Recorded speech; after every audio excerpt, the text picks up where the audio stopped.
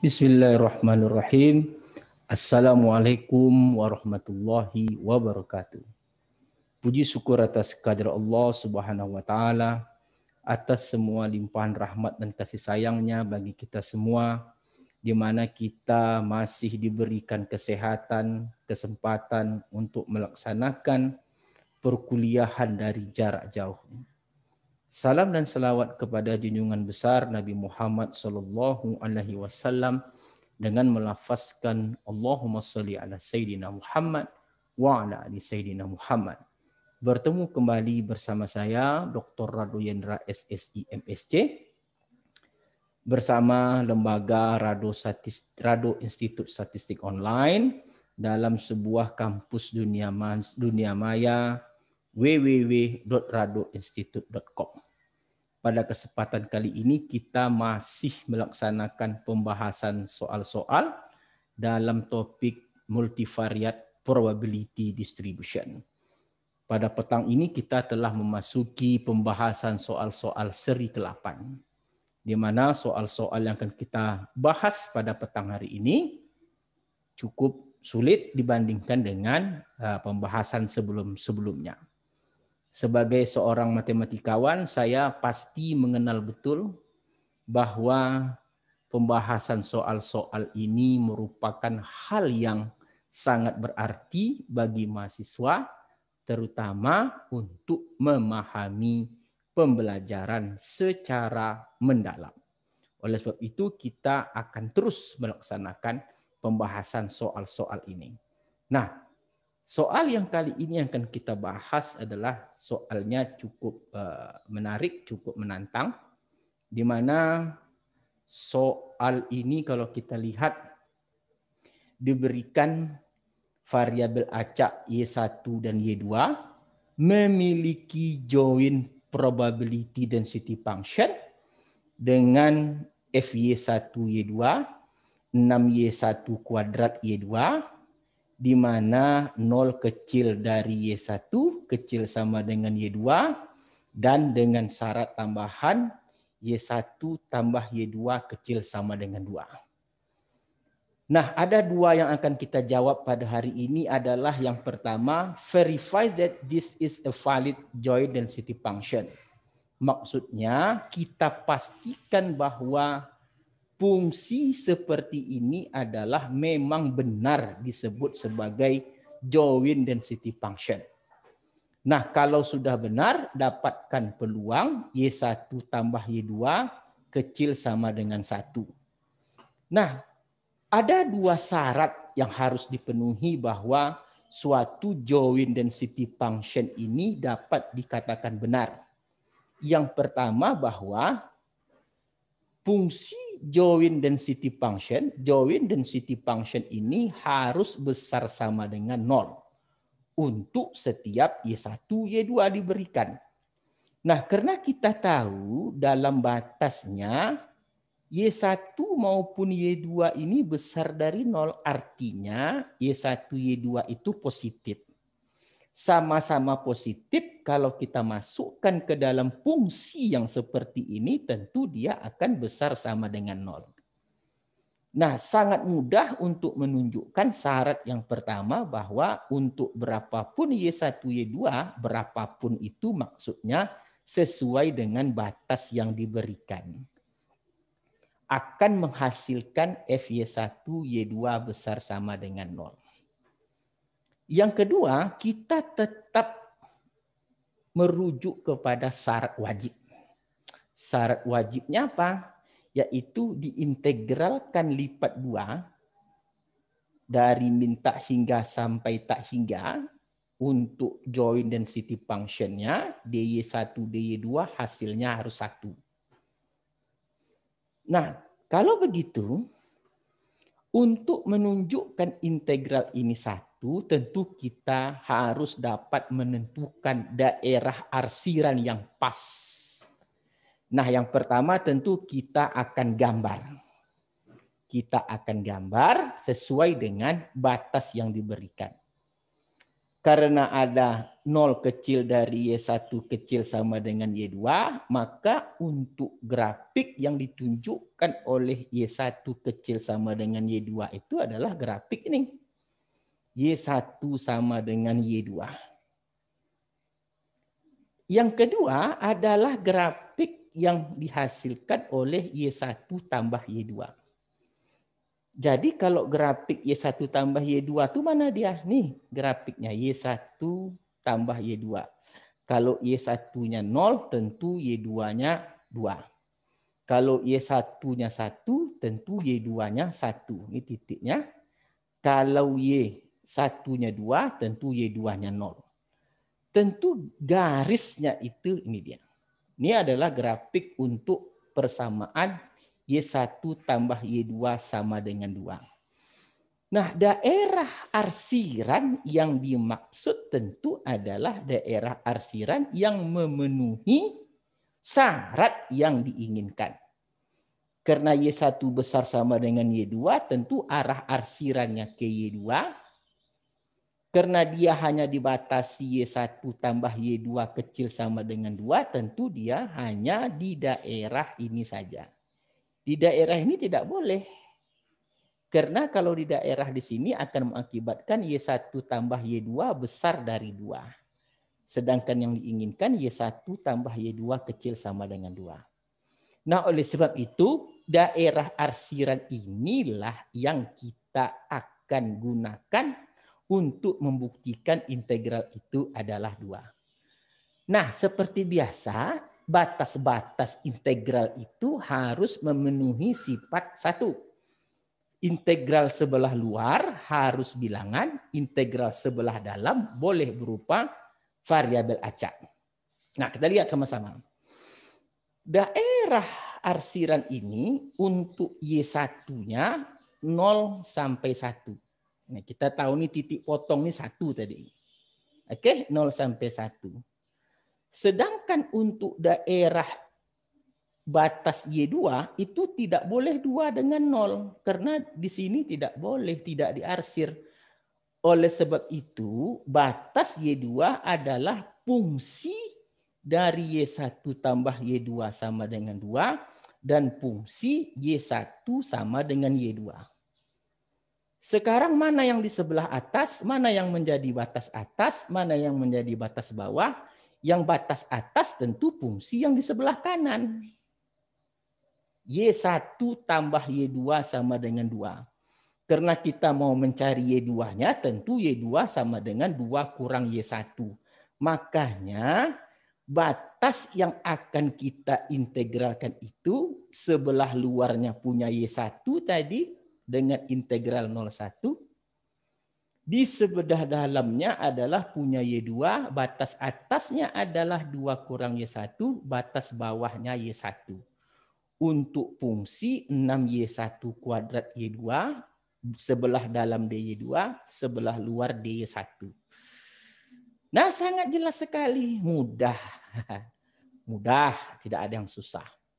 Karena kita yakin bahwa untuk Y2 berbatas kedua fungsi ini cara menggambarkan fungsi masa tidak bisa. Oke, jadi daerah yang diarsir adalah daerah penentu dari integral yang akan kita lakukan harus hasilnya satu dengan batas-batas integral sebagai berikut. Nah, kita integralkan dulu sebelah dalam, tentu dia menjadi 3Y1 kuadrat Y2 kuadrat dengan batas Y1 kurang berbatas dari Y1 sampai 2 kurang Y1. Karena sebelah dalamnya kita integralkan terhadap dy2 tentu 6Y1 kuadrat ini konstan, Y2-nya itu setengah Y2 kuadrat. 6 kali setengahnya kan ada 3. Y1 kuadrat, Y2 kuadrat berbatas Y1 sampai 2 kurang Y1. Dy1. Kita masukkan batas ke dalam Y2. Karena tadi kita integralkan terhadap Y2, tentu batas yang ada tukar ke dalam Y2. Jadi tentu integral 3Y1 kuadrat, batas atasnya 2 kurang Y1 kuadrat, karena ini tadi Y2, dy1 dikurang integral 01 3y1 kuadrat batas bawahnya gantikan ke sini y1 kuadrat dy1. Nah ini integral yang akan kita bahas. Nah itu makanya saya katakan tadi kita harus jeli memandang soal gitu. Dari batas saja kita harus hati-hati apalagi mengintegralkan. Oke, saya rasa ini sudah jelas semua kenapa seperti ini. Kita lanjutkan. Nah, setelah kita dapatkan integral ini, lalu kita eksekusi integralnya. Kita eksekusi integralnya Oke, kita lihat integralnya. Kita eksekusi. Tadi integral 013Y1 kuadrat, 2 kurang Y1 kuadrat dy1, dikurang integral 01 3Y1 kuadrat Y1 kuadrat dy1.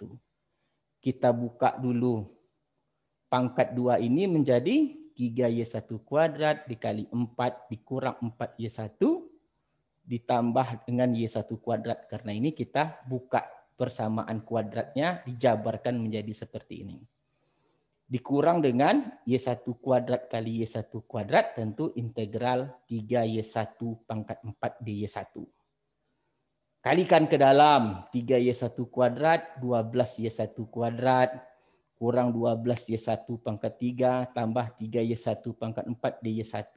Dari 0 sampai 1, dikurang dengan integral 01 3y1 pangkat 4 dy1. Nah, integral ini integral biasa, integral polinomial biasa.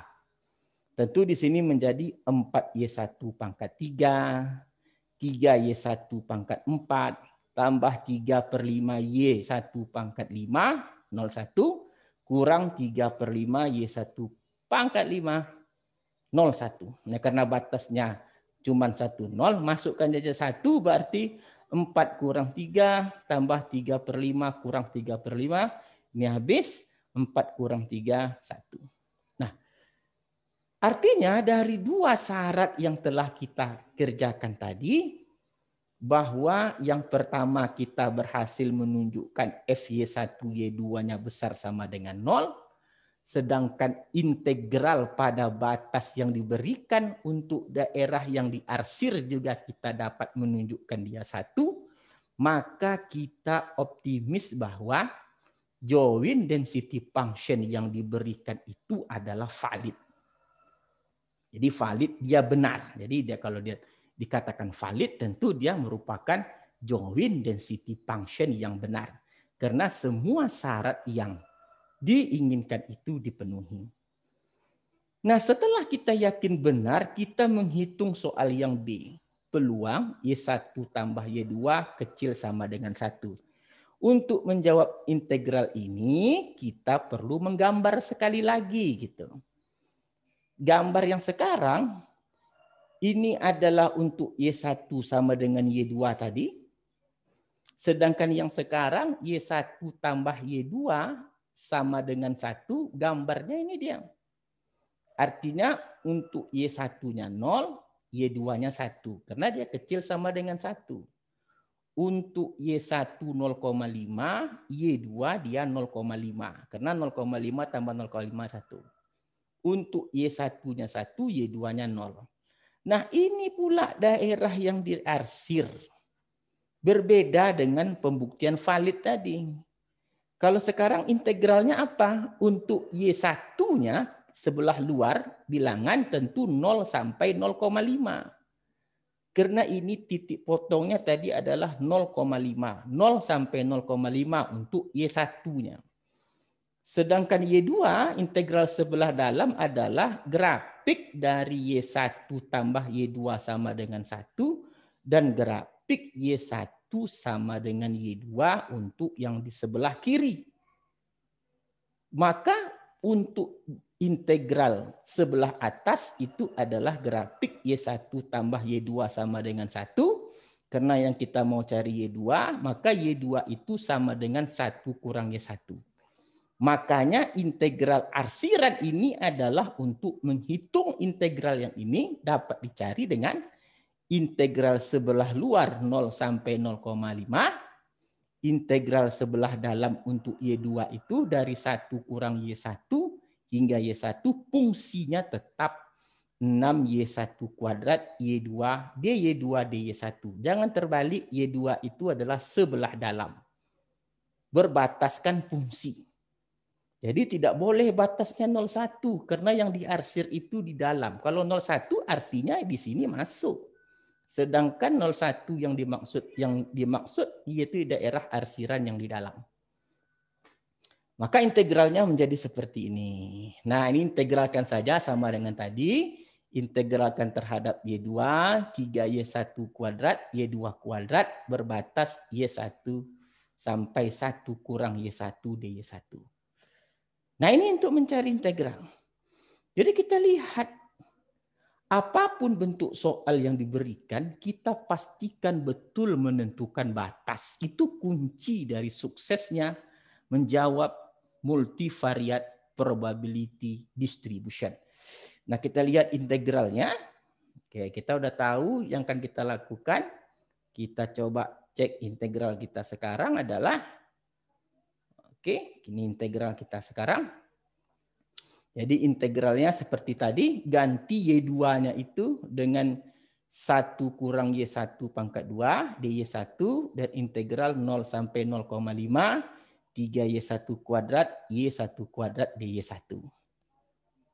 Integralkan, buka dulu kuadrat ini menjadi 1 kurang 2Y1 tambah 1Y kuadrat DY1, kurang integral 0 sampai 0,5, 3Y1 pangkat 4 DY1, Kalikan ke dalam berarti integral 0 sampai 0,5 3y1 kuadrat dikurang 6y 1 pangkat 3 ditambah 3y1 pangkat 4 dy1 dikurang integral 0 sampai 0,5 3y1 pangkat 4 dy1. Nah ini integral biasa y1 pangkat 3 karena ini integral polinomial biasa. Kurang 6 per 4 Y1 pangkat 4 tambah 3 per 5 Y1 pangkat 5 dari 0 sampai 0,5 dikurang 3 per 5 Y1 pangkat 5 dari 0 sampai 0,5. Masukkan setengah pangkat 3 seperlapan. Dikurang 6 per 4 kali setengah pangkat 4 6 per 64 ditambah 3 per 5 kali setengah pangkat 5 3 per 160 karena setengah pangkat lima itu adalah sepertiga, seper 32, 32 kali eh, lima berarti dia 3 per 160. Dikurang 3 per 160 ini habis.